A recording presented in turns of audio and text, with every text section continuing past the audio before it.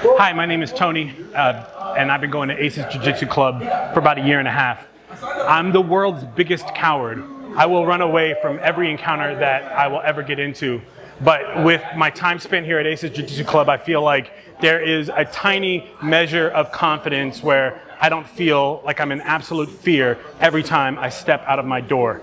My name is Tony, and I'm an ace. What's up, guys? If you like this awesome video, you're gonna love these videos. Check them out. They're real cool. Click on them. Click.